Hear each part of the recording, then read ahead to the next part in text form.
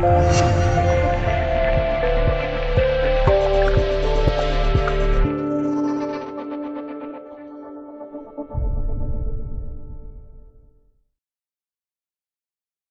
期，央视军事频道罕见的曝光了一组中国火箭军某地下长城。新闻中介绍，这种地下工事可以极大的提高火箭军战时的生存和突袭能力。其实，把战略利器和指挥中心隐藏在地下，并不是中国火箭军的独有的创举。这一点，我们可以参考俄美的地下基地，估计不比火箭军的差到哪里。另外，需要提一下。中国因为承诺过不首先使用核武，所以战略武器如何躲过敌军第一轮核打击显得格外重要。我们根据报道中的视频看，大部分都是局部画面，无法窥视火箭军地下基地的整个全貌。但通过一些小细节，吃瓜群众也可以发现，火箭军的地下隧道不仅宽大，可同时容纳下并排两辆导弹发射车通行。而且通道四通八达，如同地下蜘蛛网，战士的机动承运能力非常强。另外，大家还注意到了一个小细节，就是这个身处数百米地下的基地，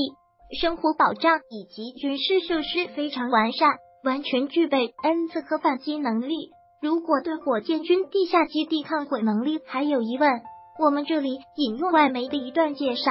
中国的地下导弹基地非常牢固。甚至可以抵御几十万的的核钻地弹的打击。其实，中国火箭军的地下基地并不是首次曝光。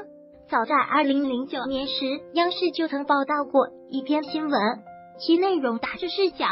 中国二炮部队性火箭军历经数十年，终于完成了一项重大的地下国防工程。现在回想起来，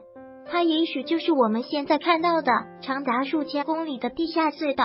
画面中的导弹发射车更是一眼望不到头。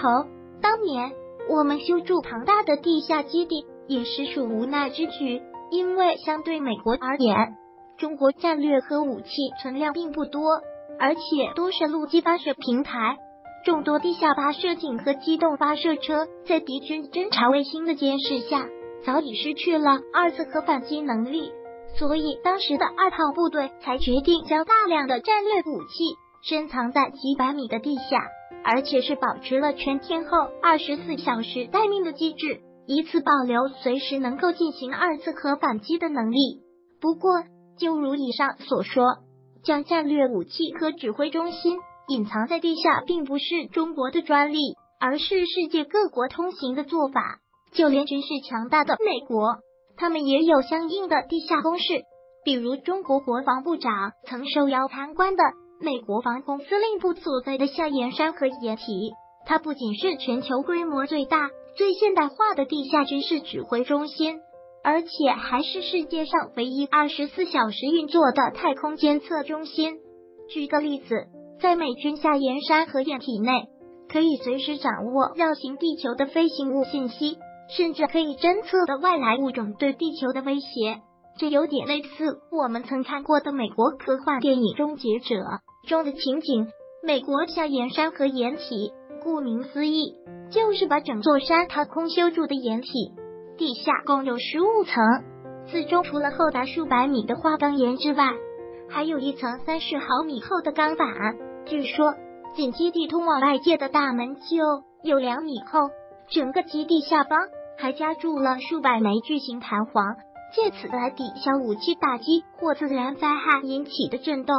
最后再说一下，美国类似的掩体还有很多很多，这其中还包括美国总统战时的避难所，俗称地下白宫指挥中心，里面生活设施齐全，特供美国总统在地下颐养天年。